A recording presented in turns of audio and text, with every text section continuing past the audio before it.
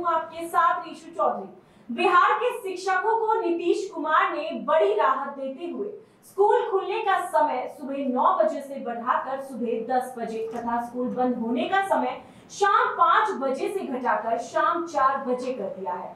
आपको बता दें कि बीते दिनों शिक्षा विभाग के अपर मुख्य सचिव के के पाठक ने एक आदेश जारी किया था। उसके अनुसार बिहार के स्कूल सुबह 9 बजे शाम 5 बजे तक स्कूल खुलने का आदेश पारित किया था जिसके बाद शिक्षकों के अंदर आक्रोश का माहौल था।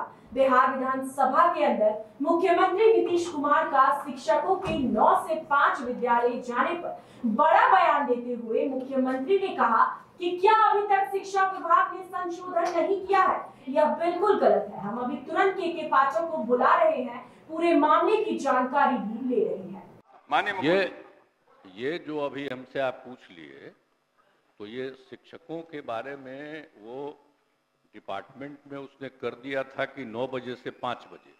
तो हमने पहले ही कहा कि 9 बजे से 5 बजे तक नहीं होना चाहिए।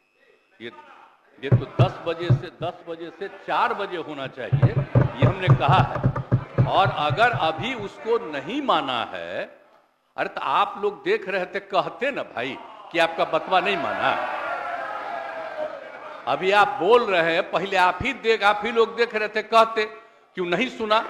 तो उसी समय हम करते अगर अभी नहीं सुना है आज ही हम तुरंत बुला करके बात करेंगे। और जो बात है पहले से यही तो हम शुरू से बोलते अरे अरे हम अरे बैठे ना भाई। साहब। हम बैठ जाइए महमूद साहब सदैव जी बैठिए। बैठ जाइए। अरे हम भी तब पढ़ते थे ना भाई। बैठिए, तो जो। तरीका है ये भला बताइए नौ बजे से सुबह से लेके पाँच बजे तक ये ठीक नहीं है। ये अगर गलत किया है उसको तुरंत सुधार करवा देते। हम आज ही देख लेते। बैठ जाइए यार आपने आपने बता दिया इसके लिए मैं आपको बधाई देता हूँ। तो आपसे आके हम पूछेंगे। बोल रहे आज ही हम बात कर लेंगे। अभी के लिए बस इतना ही। बिहार राजनीति ऐसी ही तमाम बड़ी खबरों को जानने के लिए आप बने रहिए हमारे साथ और देखते रहिए जी मैं